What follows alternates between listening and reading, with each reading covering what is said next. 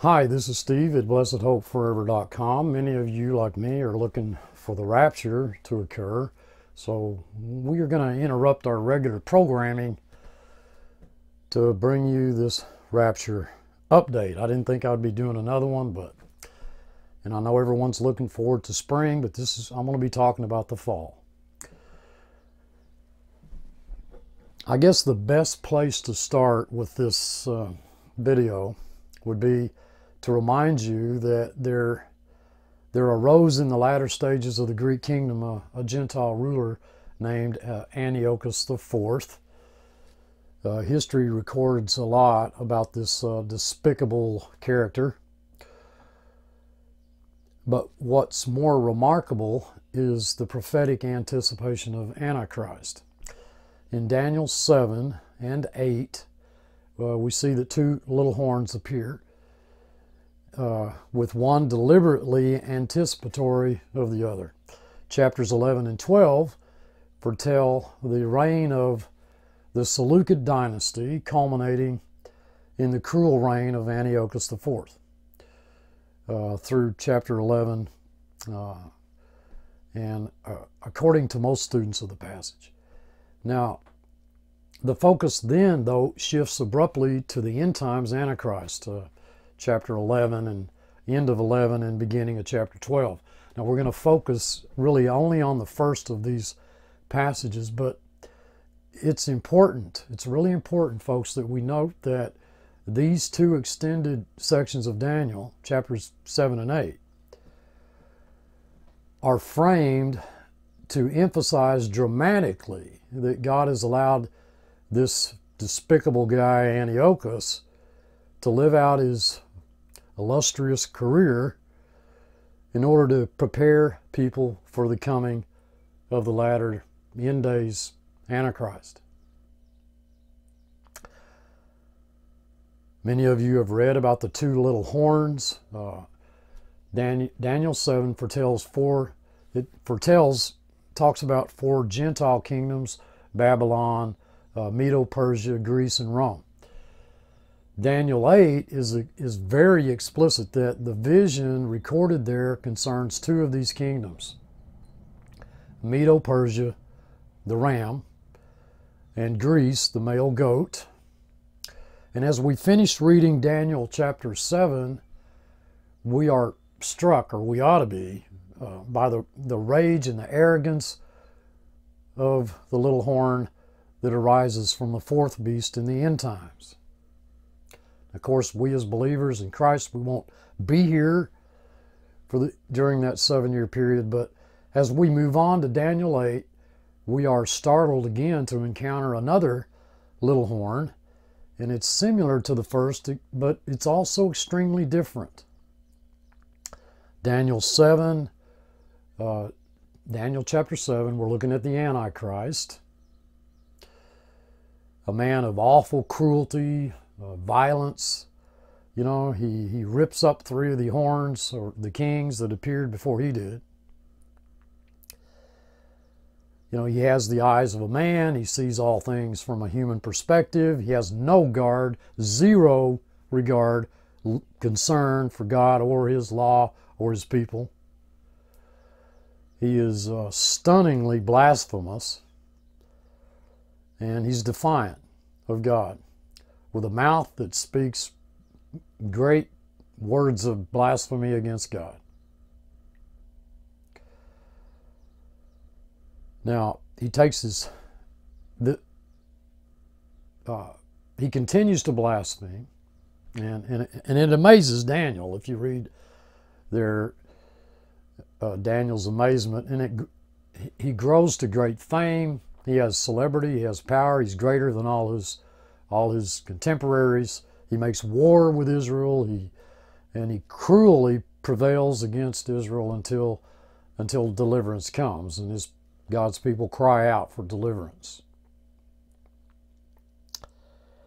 In Daniel chapter 8, uh, we're looking at Antiochus Epiphanes. He's a man of uh, awful cruelty and violence who destroys uh, just about everything he sees. And he has he's described as, as having fierce uh, countenance. He he understands uh, sinister schemes, and he causes deceit to prosper under his rule. Uh, he exalts himself in his heart, uh, and he, he even rises against the prince of princes. This is the culmination of a vision that caused Daniel to faint, and it actually left him sick for many days. I want you to try, if you can, to imagine yourself back then there. So he's astonished by the vision. He grows to become exceedingly great, uh, prospering greatly. And as many of you know, he removes the daily sacrifices in the temple and he casts revealed truth to the ground, is what the text says. And, you know, both chapters, both of, of, of those chapters were future to Daniel's day. Uh, from today's perspective, however, this uh, villain of Daniel 8, he's appeared, but history still awaits the latter day little horn of Daniel 7, the Antichrist. I guess the, the short story is, is that God used, used Antiochus IV to prefigure the person in the reign of the Antichrist. He's a type, okay?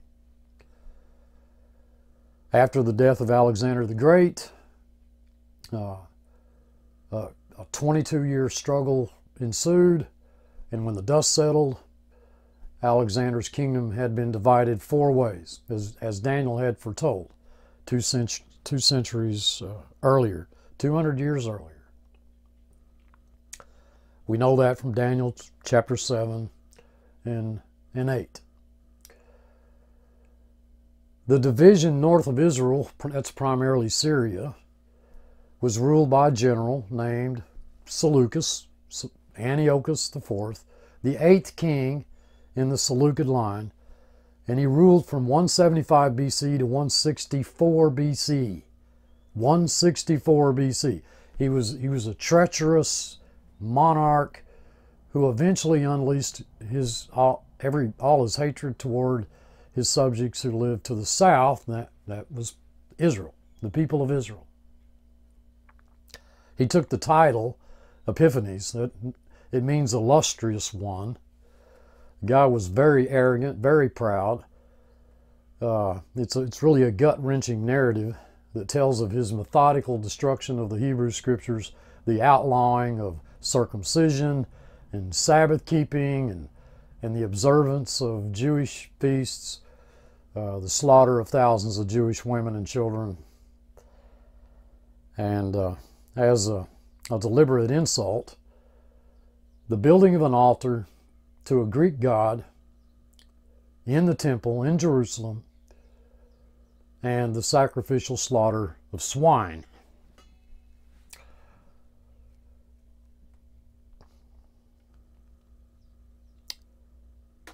A further parallel exists between Antiochus and the Antichrist. As cruel and powerful as Antiochus was, God, in His providence, raised up a family, the Hasmoneans, uh, the Maccabees, as, as we, we often refer to them, who led a revolt that brought the cruel reign of Antiochus IV to an end. We know that from Daniel chapter 8. Now, as stunning and fearful as the Antichrist's reign will be, God will send Christ, we know, to destroy the Antichrist and his armies. Jesus returns with the church, with us, to rescue Israel and destroy his enemies. We know that from Revelation chapter 19. Now, the story of Hanukkah is not recorded in the Bible, but it is recorded in the uh, apocryphal books of, of 1 and 1 and 2 Maccabees. Uh, uh, we do know that Jesus observed the Feast of Dedication, Hanukkah. That can be found in John chapter 10. But in 168 BC, Antiochus, the Syrian emperor. He came from the north, defeated Egypt, and before he could enjoy the spoils of his victory, he was compelled by powerful Rome to withdraw. And angry at this reversal, he came against the small country of Israel. He set out to destroy Judaism by making its observance illegal. He also wanted to move against Israel since its location was strategic because it was a land bridge joining Africa, Asia, and Europe. The one who dominates Israel often has a strategic point of control in the Middle East. So, Antiochus Epiphanes was one of the most anti Jewish, anti Israel, anti God rulers in history. He became a ruler in 175 BC. There were several Syrian kings named uh, Antiochus, and but this particular man chose the title Epiphanes to distinguish himself. You know, this is uh, this is Greek for uh, God manifest, which indicates the extent of his arrogance against our beloved Lord and Savior. Now, in the fashion of many of his contemporaries, Antiochus was obsessed with delusions of deity. His enemies uh, mockingly referred to, to him as uh, Epimanes, meaning madman, you know, in res response to his cruelty. The guy was very, very cruel. He tried to Hellenize Israel. He looked on Hellenization as a way of integrating the Jews into his empire socially and therefore unifying the empire. Now, in Antiochus' attempt to destroy the worship of the one God and to destroy the Levitical sacrificial system, he sends an army to Jerusalem to, to dedicate the temple to the gods of Olympia and Zeus in December. Okay. Uh, I believe it was some 168 BC, some say 167 BC. Organized an attack on Jerusalem on the Sabbath, knowing that the Jews wouldn't fight. You know, you can't pick up sticks on the Sabbath. Destroyed much of the city, slaughtered men, women, and children, just defiled the Jewish temple by offering a pig on the altar to Zeus and Olympia and, and sprinkled its blood in the Holy of Holies. The uh, swine's blood was poured on the holy scrolls of the law. The scrolls containing the Word of God were then ripped in pieces and burned.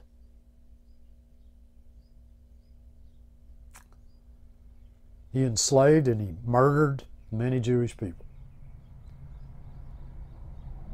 He also ordered many altars to be erected in just in uh, in every town. His troops then ordered all local communities to worship and and, and eat the flesh of pigs in order to prove their conversion from Judaism. And the alternative to eating pig was death. He forbid all Jews from practicing their faith, including circumcision, the observance of the Sabbath, uh, sacrifices, he had a bearded image of Jupiter placed in the temple in Jerusalem. I mean, this guy was something else.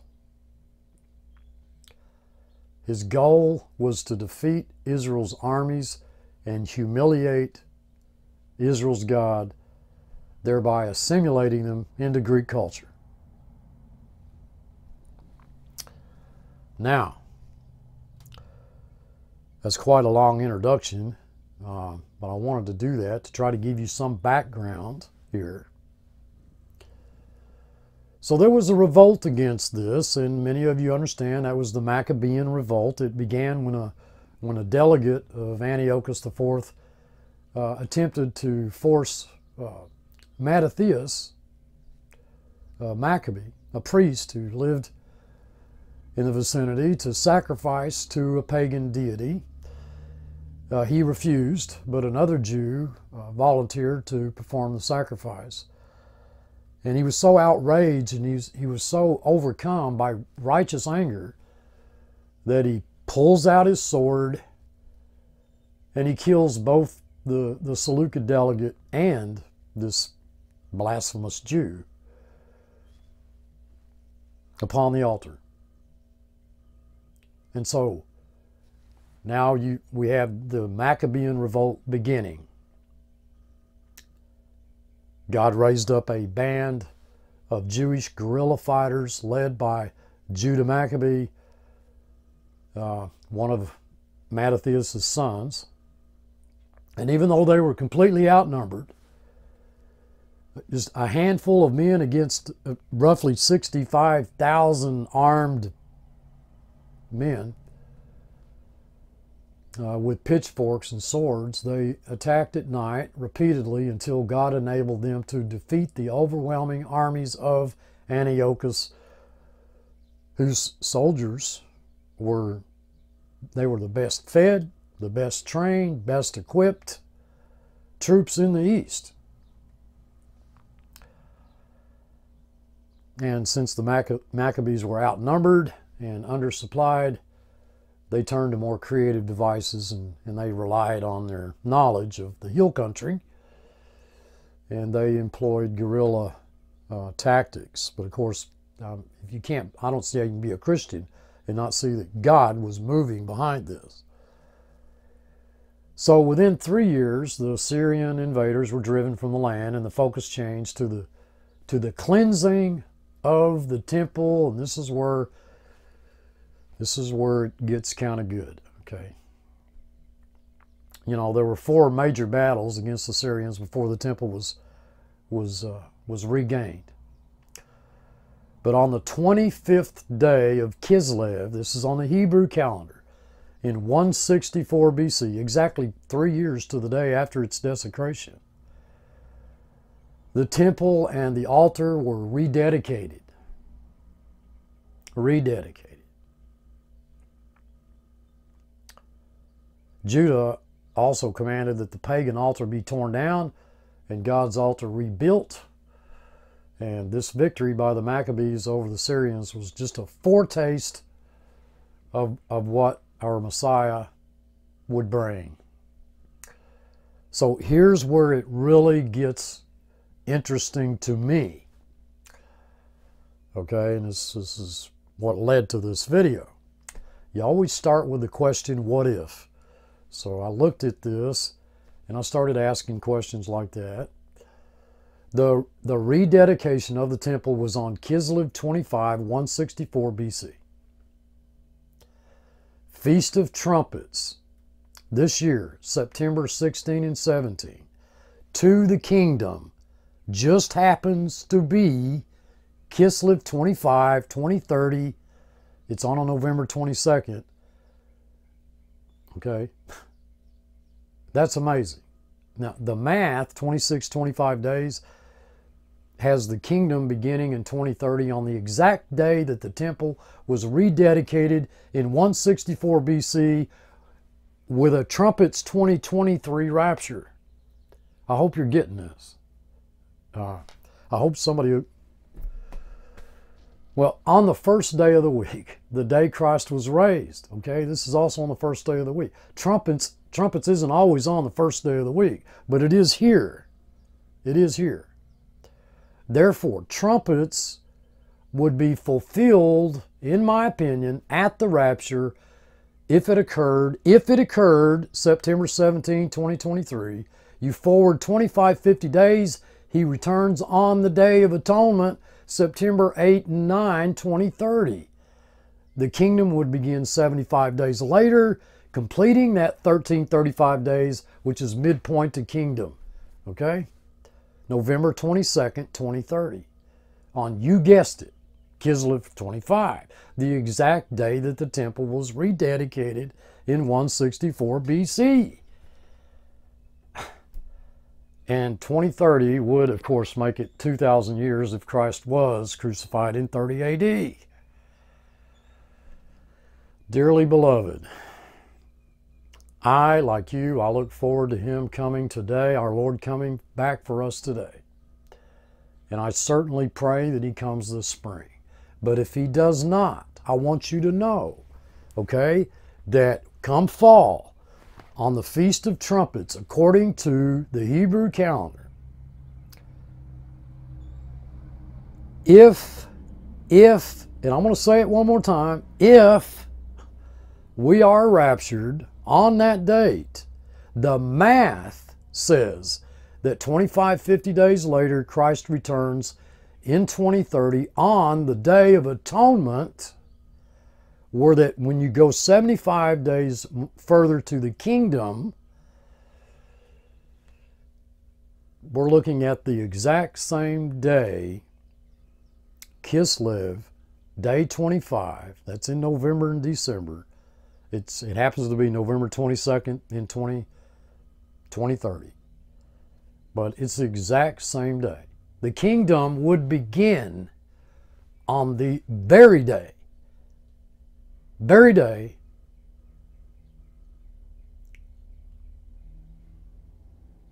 that the rededication of the temple occurred in 164 BC.